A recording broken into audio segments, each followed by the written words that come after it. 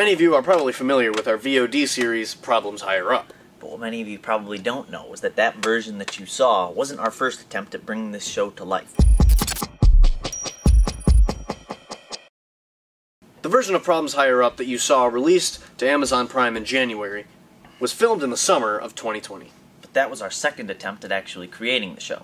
So in the summer of 2019, we filmed a version of the show. It was vastly different than the version that you saw, even though it contained a few familiar faces. Good morning, church! How's everybody doing?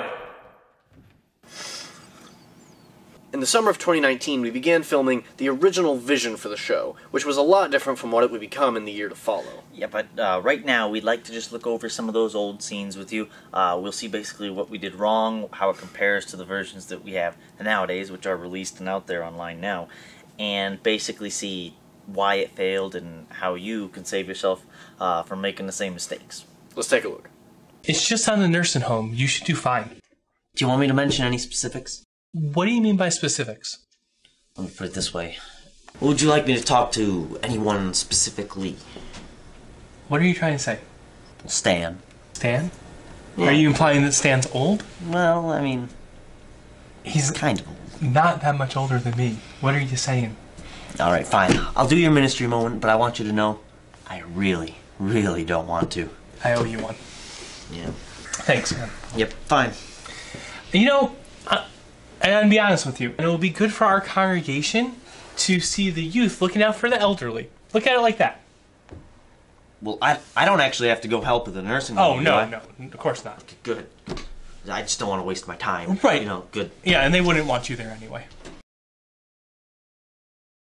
What's that? Ooh, yeah, that's a cigar that I found in the sanctuary. In the church? Yes, that's where our sanctuary is located. I know that, but like, did you yell at Zach? Why would I yell at Zach? How do I even know it's his? Come on, how many other people do you know in the church who smoke cigars? You know, I don't know because it's not a common question I ask the first time visitors. Fair enough.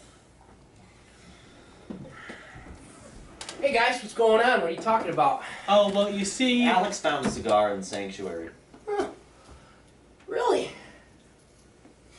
Is it yours? No, of course not. Are you sure? Well, Nick, uh, yeah, pretty positive, you see, because uh, this is a cheap cigar. You guys are acting crazy.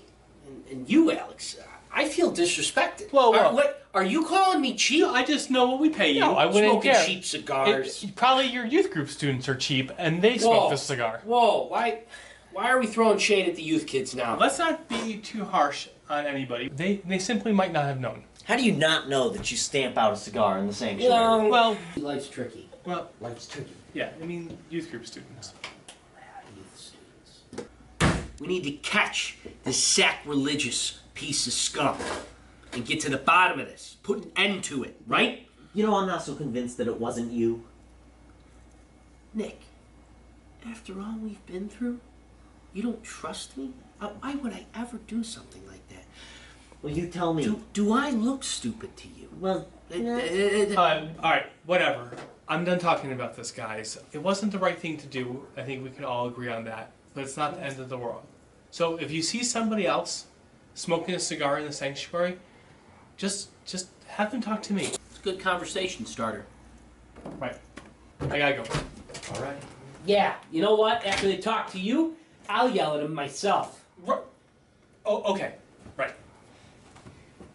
They ask you how you are, you just have to say that you're fine when you're not really fine. And that was about the same energy that we carried into the rest of the show and the other filming days, and uh, eventually it just all led to nothing, and it was pretty evident that it was going to turn out pretty terrible, so we pulled the plug and cut our losses.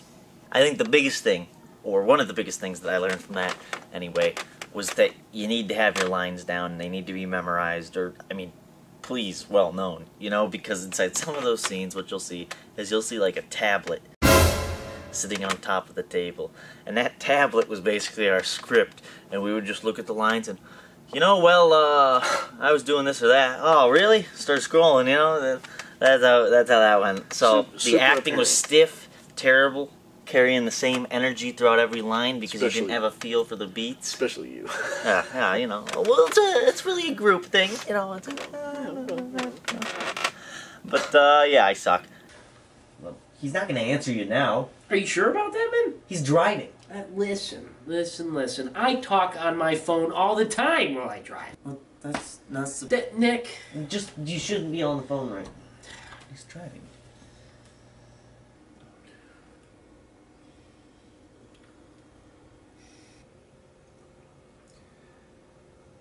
well, straight to voicemail. Do you think he'll call back? I'll tell you something, Nick. Alex, great guy.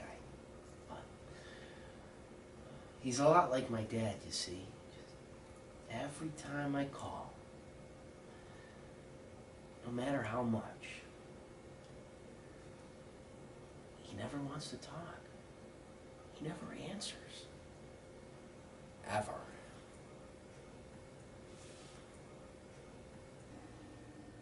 Okay. Well, well, I'll get back to this then. Great, you do that. I'm gonna get to the bottom of this smoking issue. What?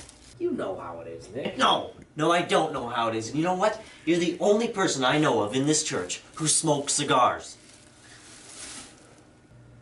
What are you trying to say? Nothing. You do that. You know what? I will. But tell me, don't you have any youth pastor stuff to do? Let me paint you a picture here, Nick. A majority of youth pastors do this volunteer, right? Yeah, they volunteer their own time. So if you think about it, they do all that on their own time. I get paid. So, technically, I have some time to sit down, solve this problem.